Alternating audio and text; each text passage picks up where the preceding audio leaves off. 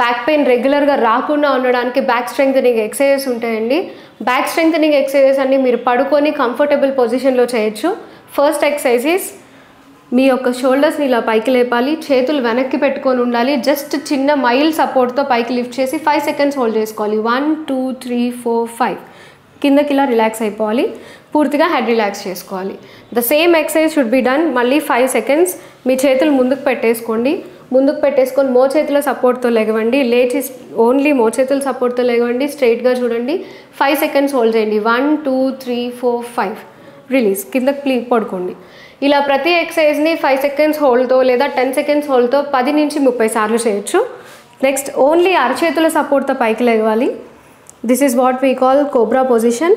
స్ట్రైట్గా పైకి చూడాలి మీ మెడ పైకి చూస్తూ ఉండాలి మీ బాడీ అనేది స్ట్రైట్గా ఉండాలి. మీరు ఎంత కుదిరితే అంత చేయొచ్చు. Same five seconds. One two three four five. Relax. ఇంకొక ఎక్సర్సైజ్ ఉంది. మీ కాలు జాలి తిమిరి రాకుండా ఉండడం కోసం.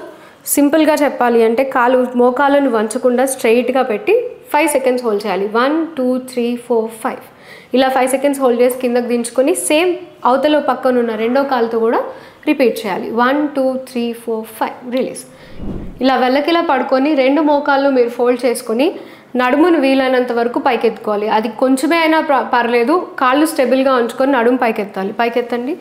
ఎత్తిన తర్వాత ఫైవ్ సెకండ్స్ హోల్డ్ చేసుకోవాలి. One two three four five కిందకి దించేసేయండి. ఇలా ఫైవ్ సెకండ్స్ హోల్డ్ చేసుకుంటూ ten times to thirty times మీరు రిపీట్ చేసుకోవచ్చు. అట్ ద సేమ్ టైం మీ రెండు మోకాల మధ్యలో ఒక దిండుని కానీ ఒక బోల్స్టర్ని కానీ గట్టిగా ఇలా పెట్టేసేసేసి ప్రెస్ చేయండి. ప్రెస్ చేయండి. One two three four five six seven eight nine ten release so మళ్ళీ repeat one two three four five six seven eight nine ten release so ఇలా పది సెకండ్ల నుంచి చేసుకుంటూ థర్టీ టైమ్స్ మీరు రిపీట్ చేయొచ్చు. Thank you.